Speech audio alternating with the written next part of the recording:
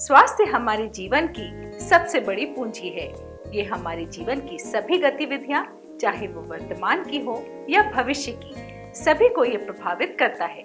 यहाँ तक कि हमारे विचारों पर और जो हम अपने भविष्य के लिए योजनाएँ बना रहे हैं, उन पर भी स्वास्थ्य का सीधा प्रभाव पड़ता है। इसलिए हमें अपने स्वास्थ्य को नजरअंदाज नहीं करना चाहिए। बल्कि अच्छे स्वास्थ्य के लिए हमें निरंतर प्रयास करते रहना चाहिए। अब बात करते हैं हड्डियों की। हड्डियाँ हमारे शरीर का ढांचा है। हमारे शरीर के सभी मूवमेंट्स इन्हीं हड्डियों से जुड़ी मांसपेशियों के कारण होता है। साथ ही ये हड्डियाँ हमारे शरीर के सभी ऑर्गन्स को सुरक्षित भी रखती हैं। हड्डियों में अगर कमज़ोरी आ जाए तो ये मूवमेंट्स रिस्ट्रिक्टेड हो जाते हैं। जो कार्य पहले बड़ी फुर्ती से कर लेते हैं, उन्हीं कार्यों को करने में परेशानी होने लगती है। हमारी हड्डियों की सेहत के लिए सबसे ज़रूरी है कैल्शियम और विटामिन डी।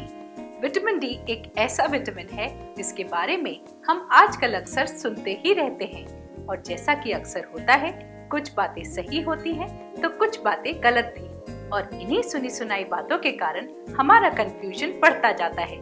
तो आइए इस विटामिन के बारे में आज कुछ विस्तार से जानते हैं। विटामिन डी एक मात्र ऐसा विटामिन है जो हमारा शरीर खुद ही बना सकता है। लेकिन इसको बनाने के लिए हमारे शरीर को सूर्य की रोशनी में जो अल्ट्रावायलेट बी रेज होती हैं, उनकी ज़रूरत होती है। इसके अलावा बाकी जितने भी विटामिन हैं ए बी सी सभी हम अपने खाने की चीज़ों से प्राप्त कर सकते हैं।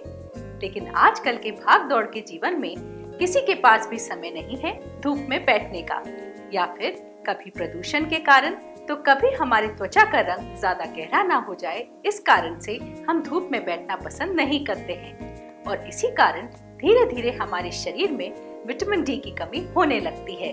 आखिर विटामिन डी की हमें ज़रूरत क्यों है? तो पहले ये जानते हैं कि विटामिन डी करता क्या है।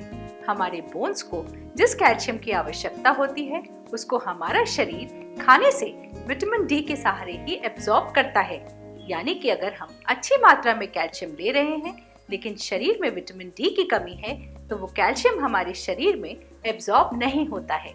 यानी कि वो कैल्शियम हमारे लिए उपयोगी साबित नहीं होता है। साधारण सी भाषा में अगर हम कहें तो विटामिन डी वो गाड़ी है जिसमें बैठकर कैल्शियम हड्डियों तक पहुँचता है। इसके अलावा हमारे शरीर की इम्यूनिटी को बढ़ाने में लंग्स की अच्छी सेहत के लिए दिमाग के विकास में, मांसपेशियों के कार्य में और यहाँ तक कि कैंसर के रोकथाम में भी विटामिन डी मदद करता है। ऐसा देखा गया है, जिनको डायबिटीज़ है, हाई ब्लड प्रेशर है, अस्थमा एल्जाइमर्स या भूलने की बीमारी या कुछ कैंसर्स में भी विटामिन डी की खास तौर से कमी पाई गई है।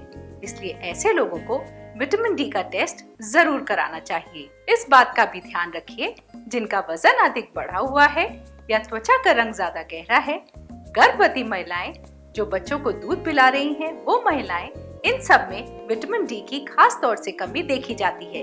इसलिए इन लोगों को विटामिन डी के प्रति सचेत रहना बहुत ज़रूरी है क्योंकि खाने पीने की चीज़ों से हमें आवश्यकता के अनुसार विटामिन डी नहीं मिलता है तो हमारे पास दो ही तरीके हैं। या तो हम निर्धारित समय के लिए धूप में बैठे या फिर हम विटामिन डी सप्लीमेंट्स लें।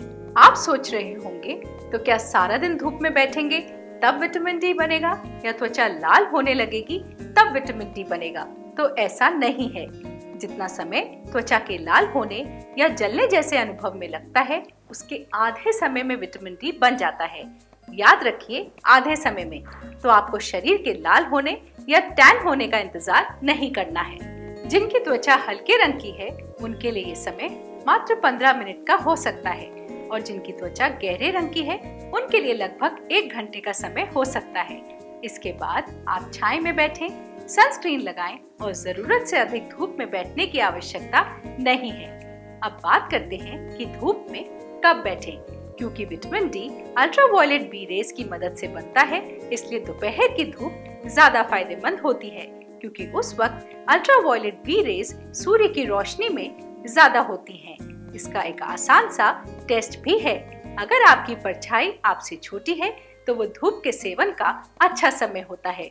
जो लोग इक्वेटर के पास रहते हैं, वो विटामिन डी आसानी से बनाते हैं। लेकिन आप इक्वेटर से जितना दूर होते जाएँगे, विटामिन डी उतना ही कम बनता जाता है। अब ये जानते हैं कि शरीर के किस हिस्से को धूप लगाएँ।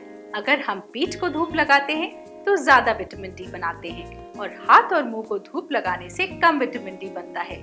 यहाँ ये जानना भी बहुत ज़रूरी है कि एक बार विटामिन डी की कमी हो गई तो हम उसको धूप से पूरा नहीं कर सकते। आइए देश विदेश में जाने माने एंडोक्राइनोलॉजिस्ट डॉक्टर राजेश खड़गावत से जानते हैं कि विटामिन डी डेफिशिएंसी होने पर क्या करना चाहिए? देखा गया है कि भारत में 80 से 90 प्रतिशत लोगों को विटामिन डी की कमी पाई गई है। विटामिन डी की कमी का इलाज बहुत आसान है। कमी को पूरा करने के लिए हमको इलाज लेने की ज़रूरत होगी। हम धूप में बैठ के कमी को पूरा नहीं कर सकते। धूप में बैठने से हमें उस दिन के लिए जितना विटामिन डी चाहिए वो तो धूप से मिल जाएगा।